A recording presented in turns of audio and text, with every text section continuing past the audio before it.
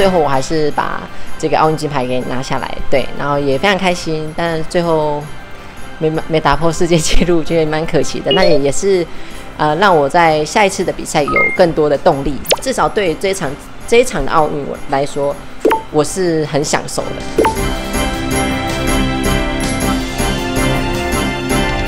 因为在年初的时候，呃，我们第一个泰国公开赛冠军的时候，那时候刚好是我生日，所以。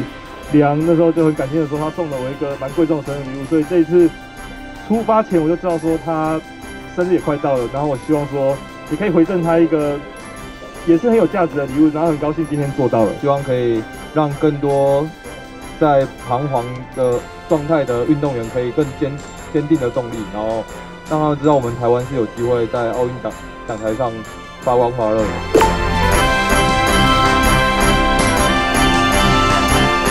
这次奥运的最后一场比赛，我就放开、放开、放松的去摔，然后把自己想展现的柔道好好的展现出来。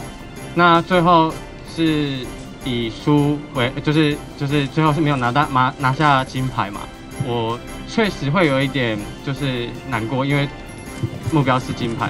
不过我觉得这也是我，就是因为有一些些遗憾，所以才会才会让我更想要。下一次的金牌，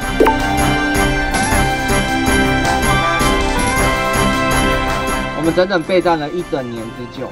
就是其实，在去年三月的公开美国公开赛的时候也是失败，然后在陆陆续续的大大小小的公开赛事，其实都没有将六点七给展现出来。那这次可以第一次在奥运会场上这么大的殿堂把六点七给展现出来，其实我觉得我跟教练的努力就是值得了，我们做到了，真的是很开心。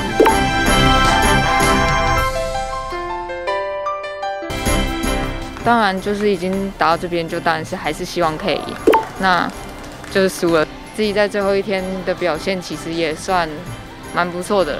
那我觉得他发挥的更好。那自己在第三局的时候，其实有比较多的失误，我觉得这有点可惜。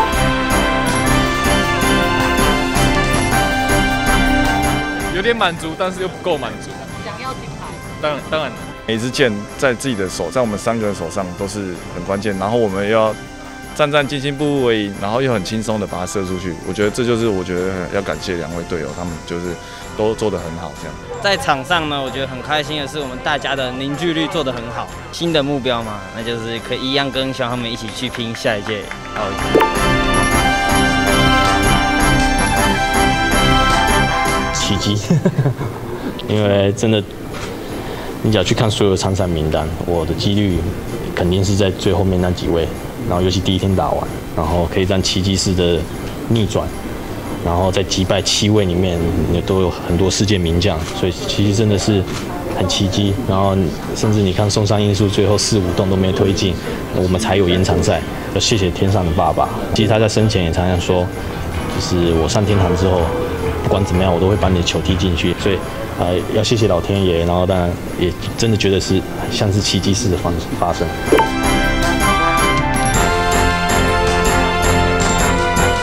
我觉得很开心，可以拿下桌球的正面奖牌吧，非常不容易。一路上真的要感谢很多人。那我接下来还是会继续努力，为接下来的亚运跟奥运做好准备。就谢谢所有关注我和支持我的。大家就是有你们的支持的话，我也会更努力，就是在以后表现，希望表现得更好给你们看。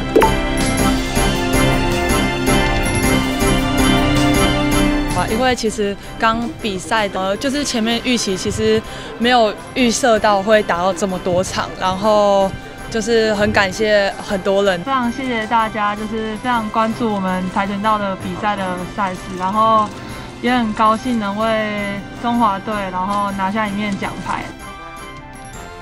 We wish you a Merry Christmas. We wish you a Merry Christmas. We wish you a Merry Christmas and a Happy New